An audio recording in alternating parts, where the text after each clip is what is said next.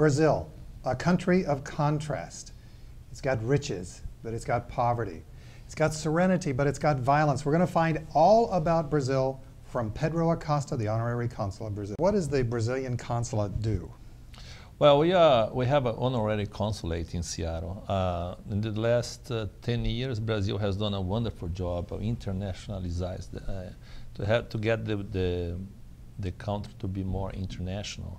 We create a lot of embassies all over the world. And here in Seattle, we, we just have 5,000 Brazilians here. So uh, we don't have enough population to have uh, a consulate, an official consulate. So they chose me as the honorary consul to represent Brazil in the area. When you say represent Brazil, what do you do besides I come on a television show? I represent my country. I bring information. I, I serve as a liaison between the Washington State and Brazil. Mm.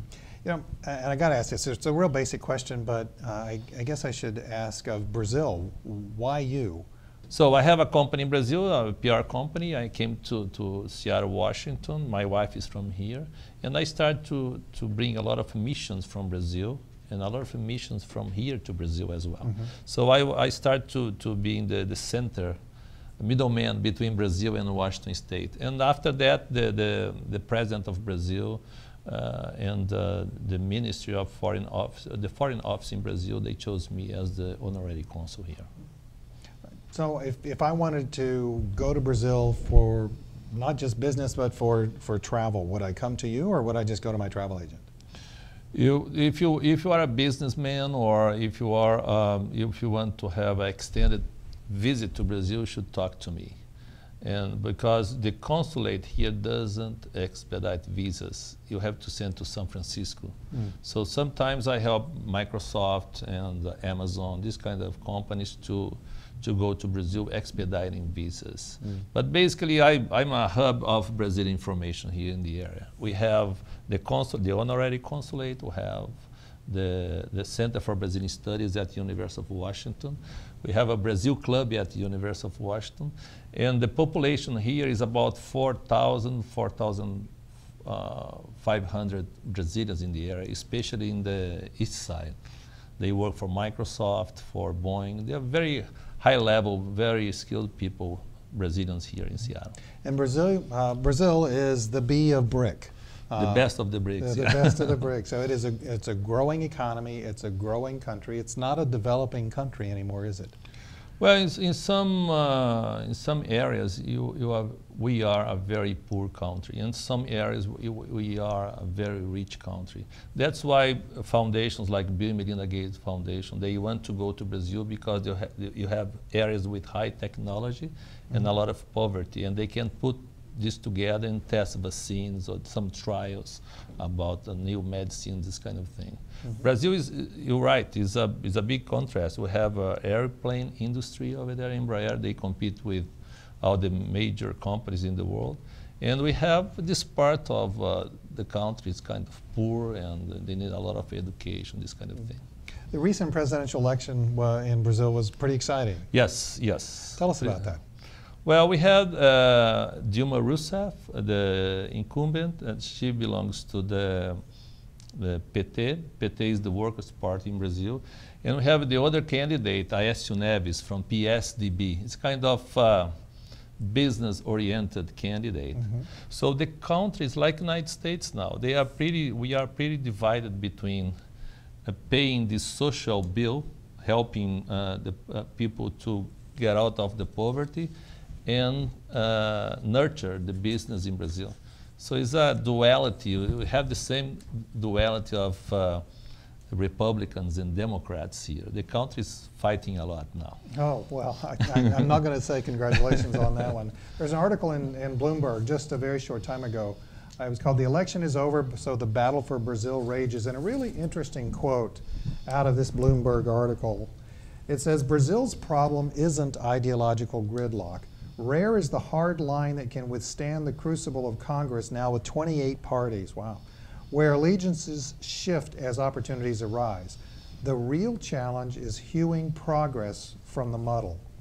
Is, is that right? Is, is it yes. just hard to get progress because you got so many parties?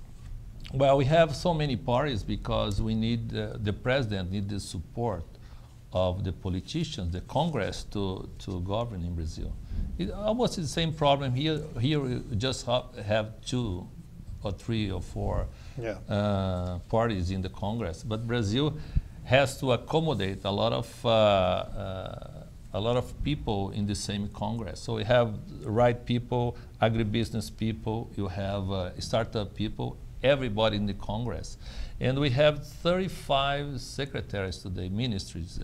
Uh, you say. really? Yeah, it's hard to govern Brazil. Brazil is, is, is uh, for professionals in terms of management of the country. you know.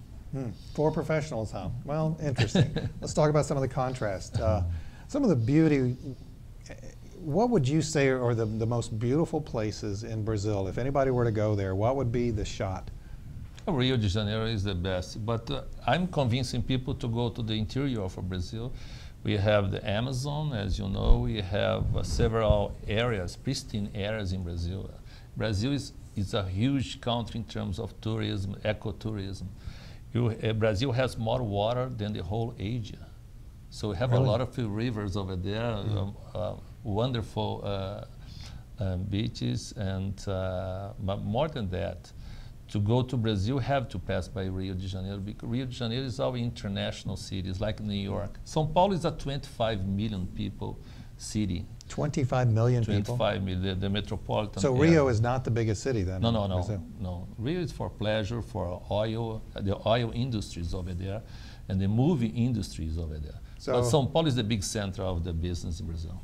Well, I mean, everybody knows Brazil for Carnival. So that, that it's, it's time to go to Carnival, but there's also in, incredible slums there too. Yes, we have in, in Rio de Janeiro we have the largest slum in the world is Rocinha. It's half a million uh, people living uh, in, fr- in, the- in the hill in front of the ocean. It's a magnificent uh, uh, landscape. Mhm. But uh, we in these favelas, they call favelas, they have everything nowadays. They have banks, they have uh, all, all services inside of the favelas. Oh, and the Yeah, slums. Yeah. So it's not, uh, it's, it's, it's all about money. It's about, the, you have uh, the, the right location in front of the ocean for a cheap price sometimes. But we, you know, in favelas, they have a lot of uh, violence still. Yeah. They have a, a program in Rio de Janeiro now, it's a pacification of the favelas. They send a lot of uh, cops over there and they, they become part of the life of the favela. Hmm. Interesting because there's also is a, is a claim of extreme police brutality. Yes. And in, in fact, there's an article out of Time magazine just from November the 10th, 2014. And here's a, a statement from Elena Pereira, who was a, a state ombudsman for public security, a state ombudsman, and a human rights activist, said that revenge killings that took place in Belém would be nothing out of the ordinary for police linked militias. Um, this is not the first case. There have been other massacres, she said, citing the case of a former military police officer who was sentenced to 120 years in prison in October for killing six teenagers in 2011. That's, that is not a pretty picture. No, it's not, a, uh, it's not good. And, but Brazil is doing a wonderful job taking people from the poverty and becoming middle class. They Really? call it Class C in Brazil. In Brazil, it's a very classy society. They class C is people who used to be in favelas and uh, in very poor places, especially in the northeast of Brazil. And then the government gives them a monthly stipend, $200 for each kid in school. And then the, this uh, kind of program brought people from the, the, the poverty, 40 or 50 million people in Brazil. So in Brazil now we have a 200 million country with just 10 million in poverty. It's a miracle. In China they did the same thing, but in China was 500 million left the poverty and become middle class. Speaking of China, um, if you talk with anyone from just about any country, you know that China is coming to your country and looking for resources to buy. Uh, and buy is the right word. Is China coming to Brazil? A lot. But China is the, the, the biggest part of, commercial partner of Brazil today. They buy everything in Brazil from uh, soybeans and uh, iron, everything. Mm. And now China is not doing very well, and Brazil is not doing very well because China. Oh, really? Yeah, we used to be very dependent on the United States. Now you are very dependent in terms of exports from China. But we have a wonderful relationship with all the countries in the world. Brazil is, the, is uh, recognized by being a country that have just friends. We don't have enemies. Hmm. We talk to Iran, we talk to Venezuela, we talk to Cuba, we talk to United States, we talk to all the European countries. We just we don't believe in wars. We, we, we believe in dialogue. But you do have a military, though. We do have, yeah. I, I think it's about 300,000 people in Brazil. But, and uh, we have a lot of, uh, the Air Force is, is gaining some power now because Brazil is a vast territory, the same size of the United States, the continental United States. So you have to, just by airplanes, you can cover the country, especially Amazon to reduce the deforestation. Brazil is, has hosted two recent huge events. One of them, well, there. In, uh, I'm- I'm- 2016, in 2016 is going to be the Olympics, yeah. Yeah, well, I was talking about the Rio 20. Uh, Ah, yeah, in yeah. 2012, and then of course, but let's first talk about the World Cup. Mm. That was a big deal. Sorry about that. 7 1 in the last. Uh, it was terrible for Brazil. But uh, we did a very good job hosting a lot of countries in Brazil. And we have a big problem now. A lot of people that went to Brazil to watch the World Cup stay there. So. So what are you going to do with them? You going to kick them out? I don't know what we don't know what to do because they go to Brazil, they fell in love with some person over there, and they stay there forever. So uh, that is a, a material at the a piece at the New York Times another day, talking about that. The foreigners that went to Brazil and they stayed there, they, they don't want to come back to the United States or the other countries. well, let's let's say that I wanted to do business in Brazil. How would I go about doing that? So you, you, we have a very Americanized society in Brazil. We are in the same stage of doing business. We have very international companies in Brazil. So it's kind of easier now to do business in Brazil. We, in the United States, we have uh, Heinz, Anheuser-Busch, we have um, uh, Burger King, we have uh, Swift. We have a lot of companies here. So Brazil, the economy is growing, and they are internationalizing the, comp- the, the, the companies over there, and they have a lot of assets all over the world nowadays. So you mentioned Burger King. Does that mean that you have fast food outlets all over the place? well, when I say Brazil bought the, the Burger King, they say, oh, you can take it. But uh, Brazil is a very Americanized country in terms of uh, the um, Brazilian people want to be like the Americans and the vice versa sometimes. Because when Americans go to Brazil, they want to have this kind of relax and more uh, uh, relationship approach in their business. So it's a, it's a very interesting mix of American and Brazilian culture of doing business. Now, the Rio 20 conference uh, in 2012 was probably the biggest environmentally focused conference ever in the history of the Yeah. world. Uh, why Rio? Everybody wants to go to Rio. Yeah. If you've, uh, or Seattle or uh, wonderful cities. Rio is, uh, is, is in the, everybody wants to go there. They have an image of Rio, of relaxation, uh, wonderful people, beaches, this kind of thing. It's a really good city to do business as well because you can have the pleasure of the people over there, pleasure of uh, this relationship, the, the environment, and do business as well. Well, the government itself is is it outwardly looking to in, uh, to increase uh, relations, and so by hosting a, a, an international event like the Rio 20 conference, and then the World Cup, and then the Olympics coming up, um, is it purposely trying to get on the world stage? Well, it's a big co- country. We have six, um, we're the sixth economy in the world nowadays, but we don't have a strong army and we don't want wars. So our way, o- our, our way of being in the, in the stage, and the world stage is doing good things for the world. We are in Haiti, Haiti, yeah. Yeah. We are in the several places in Africa to help uh, the Ebola, this kind of thing. And uh, our army nowadays, in, in terms of internationalization, is very is helping people, not making wars. What's the average income? Well, the, the minimum salary in Brazil is a big thing over there. Is about um, three hundred dollars a month. Here in the United States, we talk a lot about a living wage uh, or a, a family wage job. What's a family wage job pay in Brazil? It's about uh, 1,000, 2,000 dollars. A month? The whole family, yeah. It's uh, not the average, but the, the, I, I'm talking about the class C. The Class C. Yeah, but the CEOs in Brazil and the business people in Brazil make much more money. The, the, the disparity of uh, the salaries are huge in Brazil. That's a big problem. We're trying to create a, a strong middle class uh, with, we have to avoid this kind of disparity. Yeah, I, it's, it's been my experience just from looking around the world is that people who have power don't easily give it up. Uh, so income disparity is, uh, you know, it usually means that people at the top are going to have to give up more. Are they willingly doing that in Brazil? Of course not.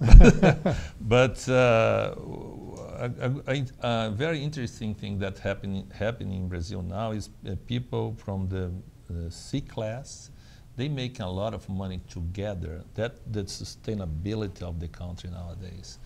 In Brazil, we have the same phenomenon of the United States. All the jobs are in the lower uh, uh jobs like McDonald's, this kind of thing. Mm. For the middle class, uh, for upper middle class, it's hard to, uh, life in Brazil nowadays. Mm-hmm. Is we that because of, of, what happened with the financial services crisis of 2008? Yeah, I think so continue? because uh, United States have the same thing people uh, in the, the, top levels don't have jobs anymore. And uh, just in the very low levels, that's the, I, have heard about that in Brazil, uh, in the United States, the same phenomenon is in, in hmm. Brazil. Mm. We have an aging population in the United States and in fact around the world. Uh, I think in the year 2050, China is due to be the oldest country uh, on the planet in terms of its population. Um, but with age comes responsibility, typically coming from the government and from those who are working uh, which if that's a shrinking population, then you've got an issue. And that's what people fear here in the United States. Do, do you have that, those same fears same in Brazil? Thing. How are you going to deal with that? Well, it's a big problem. They try to low the, to expand the, uh, the, the age for retirement in Brazil. Instead of 62 to 65, this kind of thing. Mm -hmm. But Brazil has very had used to have very good laws to protect uh, the laborer. So we have a gigantic bill now to pay for the, the people who are after 50, 60. A lot of people in Brazil used to retire at 50 years old. So it's a big problem. The government is trying to manage that because the big bill in Brazil nowadays is to protect this aging population. But Brazil is very young. Brazil is kind of China, I think. Uh, with this population of 200 million people, 80 million are students. 80 really? Million, almost half of the, of the country. I'm going to talk about education in Brazil. It's, uh, it's marvelous how Brazil now is putting a lot of money and effort in education to catch up with other countries like Korea and uh, Japan and Russia, this kind of thing. All right, so let's say that you have 80 million newly well-educated young adults. Where are they going to work? Well, well Brazil, uh, the private sector and the government are working together to nurture startups. So we bring people in the United States. For, for instance, we nowadays we have 100,000 students from Brazil in the United States, England, and other countries just to have uh, graduation, not undergraduation. So Brazil is paying everything, including the monthly stipend for these people to, to study here. Mm. At the University of Washington, we have more than 100 Brazilians over there. And they are Being are paid for by the Brazilian government. By, by us, by the taxpayer in Brazil. Mm. Wow. You know, I'm, I'm hearing a lot of great programs, but I'm also hearing a lot of expense. What's the taxes there? Tell well, me about it. well, I think the corporate tax is about 35%, like yeah. here, uh -huh. in the same uh, the, in the uh, for uh, people. But uh, the problem in Brazil, we have a lot of hidden taxes. Brazil, if, if, the car over there, I was reading about cars. Brazil has a 20 or 25% tax on cars. United States is just 5%. Mm. So for, for us, doing business in the United States is fantastic. It's like a paradise. It's the Disney world for us because you have lower taxes here than Brazil. Uh, um, Brazil is known in some ways for its, its agribusiness. Uh, yeah, we are a huge uh, powerhouse of, we are the farm of the, the, the world, they say. Well, um, let's talk about that because one of the things I think the agribusiness has really excelled in in Brazil is uh, biodiesel fuels. Yeah. Uh, how, did, how have you done that? What do you do different than we do here in the United States? Good question. In the after the dictatorship in Brazil in the 70s, we have this big oil crisis. Do you remember this 1973? I actually do remember that. Yeah. and Brazil started to do a, a wonderful program of uh, replacing gas by ethanol. So Brazil is a continental country. We have thousands of uh, gas stations in Brazil. In every gas station in Brazil, you can buy ethanol, gas, and uh, natural gas as well. Ha you have three or four options for your car. And all, all the cars in Brazil are flexible, flexible, flex. Uh, flex cars. Yeah, flex, flex cars, yeah. So it's a, it's a wonderful thing. Sometimes when the gas is too high, they put ethanol, and the opposite is true as well. Nowadays, ethanol is, is, is, is not cheaper from, uh, comparing to gas. So everybody's putting gas in Brazil now. But you have a big oil industry there, though, right? We do, yeah. Uh, we just found uh, a gigantic reserve in this, uh, under the seabed. And uh, this oil is going to change, the, result, the, the money with this oil is going to change the reality in Brazil. We have all the money from this oil are going to, is going to be put in education in Brazil. Hmm.